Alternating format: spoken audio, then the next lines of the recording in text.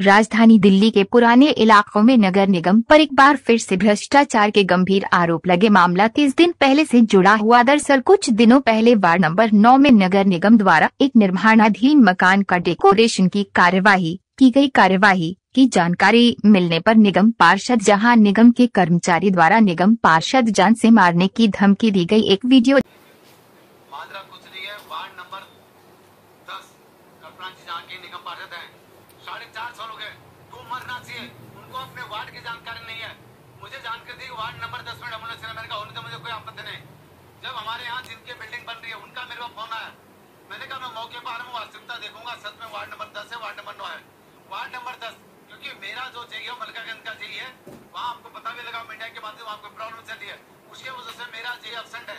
मेरा एबसेंट में जे में दूसरे वार्ड के जे ना आके, वार्ड डेमोलेशन होने के दस नंबर में। वहाँ से उन्होंने अपना हिसाब किताब कर लिया होगा उसका वो तोड़ने के लिए डेमोलेशन करवाने के वार्ड नंबर नौ में उन्होंने डेमोलेशन कर दिए। और जो इन्होंने झूठ बोला, जो इन्होंने झूठ बोला कि ये शान डेथ हुई है, डेथ कहीं और हुई है। सामने बैठे हुए पुलिस यहाँ पर सामने बैठी है। पुलिस ने मुझे रिटर्न दिया कि यहाँ कोई डेथ नहीं हुई है। झूठ बोल के, और दूसरा दूसरा जो नागेंद्र, उनके वार्ड का जो मेट है उसने कहा मैं गुज्जर हूँ। पार्षद जी, आपको उठा दूँगा आपके, और आपको भी कसम दिला रहा हूँ। इस चैनल को इस मीडिया को खूब दिखाना। मैं भी लाइक करूँगा दुनिया से लाइक करूँगा और मैं देखता हूँ उस गुज्जर को यदि तेने माँ का दूध पिया है, मुझे जिस चौराहे को बुलाएगा उस चौराहे को आऊँगा मैं जारी किया था जिस पर उन्होंने निगम पार्षद की तरफ़ से इस मामले में पुलिस शिकायत नहीं दी गई तो अब आम आदमी पार्टी द्वारा भी निगम पार्षद कर्मचारी और भ्रष्टाचार के आरोप लगाए जा रहे हैं। निगम कर्मचारी द्वारा मारने की धमकी देने के बावजूद भी निगम पार्षद की तरफ़ से कानूनी कार्यवाही क्यों नहीं की गई, कहीं ना कहीं इस मामले में भ्रष्टाचार की द्वारा ही यही वजह है कि निगम पार्षद विवाद होने और झगड़ा होने के बाद भी निगम कर्मचारी पर कोई कार्यवाही नहीं करवा रहे। मामला इसलिए विवाद से जुड़ गया कि डेकोरेशन की कार्यवाही वार्ड नंबर 10 में होनी थी, जो कि वार्ड नंबर 9 में कर दी गई निगम पार्षद की तरफ़ से ये कहा गया कि संत नगर वार्ड में पार्षद और कर्मचारी के बीच हिसाब किताब हो गया होगा, जिसके चलते वार्ड नंबर 9 में कार्यवाही की गई। अब अब कार्यकर्ता इस पूरे मामले की जाँच की मांग कर रहे हैं। फ़िलहाल मामले में सच्चाई क्या है, ये तो जाँच के बाद ही साफ़ हो पाएगा, लेकिन सवाल ये भी खड़ा होता है कि जिसके साथ ये विवाद हुआ, उन्होंने तो कानूनी तौर पर कार्यवाही की मांग नहीं करी, लेकिन अब आम आदमी पार्टी के कार्यकर्ता ज़रूर कानूनी जाँच की मांग कर रहे और देखना होगा कि इस मांग पर किस तरीके की कार्यवाही की जाती है। बहुत भयावह हो चुकी है और एमसीडी उसमें पूरी तरीके से फेल हो चुकी है। ऐसे में लगातार डेंगू के केस आ रहे हैं, मृत्यु लोगों की हो रही है डेंगू से।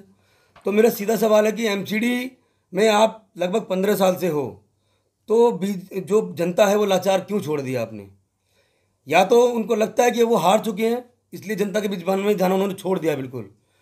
तो ऐसी स्थिति में डालने की ज़िम्मेदारी पूरी तरीके से एमसीडी की है और एमसीडी की वजह से पूरी भारतीय जनता पार्टी की है, जिन्होंने दिल्ली को डेंगू के भरोसे छोड़ दिया है और डेंगू लगातार उसको पीड़ित कर रहा है। लोग मर रहे हैं, हाहाकार मचा हुआ है। दो सौ बहत्तर देने वाले हैं। देखिए विज्ञान के बारे में मैं इतना ही कहूँगा कि आप लोग हमारे चौथे स्तंभ के रूप में काम करते हैं। जितना काम आम आदमी पार्टी के कार्यकर्ता ने किया है, पिछले दो साल में और मतलब लगातार जो हम करते हैं, उतना शायद ही कभी किसी पार्टी ने किया हो। अभी हमारा अभियान जब डेंगू को लेके एमसीडी पूरी तरह से विफल हो गई तो हमने अब पार्टी हमने पार्टी के बिहार पे, अपने आम आदमी पार्टी के बिहार पे एक अभियान चलाया है। डेंगू को लेकर हमने फोगिंग का कार्यक्रम शुरू कर दिया है और हम व्यक्तिगत रूप से भी लगातार फोगिंग का काम हम पिछले एक महीने से हम लोग कर रहे हैं। लेकिन अब आम आदमी पार्टी ने ठान लिया कि आम आदमी, ये भारतीय जनता पार्टी और एमसीडी नहीं कर पाएगी, इसलिए हम हम इसको अब स्वयं कर रहे हैं, हर वार्ड के अंदर। हमें ये कार्यक्रम हमारा चल रहा है। मुझे लगता है कि पार्षद जी की जो वीडियो वायरल है, जितना बेहतर तरीके से पार्षद जी बता सकते हैं, उतना बेहतर तरीके से मैं नहीं बताऊँगा। इसलिए मैं चाहता हूँ कि आप पार्षद से इससे ये सवाल करें। पहले तो एफआईआर की कॉपी चाहता हूँ मैं एफआईआर की कॉपी दें क्योंकि वो साधारण व्यक्ति नहीं है। वो क्षेत्र के पार्षद हैं जनता के प्रतिनिधि हैं वो। उनको एक ऐसा एग्ज़ाम्पल देना चाहिए था ताकि किसी भी जनप्रतिनिधि के खिलाफ कोई बोलता है तो उसको एक उदाहरण के रूप में लिया जाता। लेकिन उनकी चुप्पी कई सवाल खड़े कर रही है जो बहुत आपत्तिजनक है। कौन सी वीडियो हम जानना चाहेंगे? क्या आपके पास वीडियो मौजूद है इस समय जो जी बिल्कुल वीडियो है अगर आप कहें तो हम आपको दिखा देंगे। और उसमें कोई संशय नहीं है और अच्छी बात यह है कि वो आप ही, में ही किसी पत्रकार साथी ने हमें उपलब्ध कराई थी तो हमारा, हमने खुद स्वयं नहीं बनाई है वो, पत्रकार साथी ने ही बनाई थी वो वीडियो।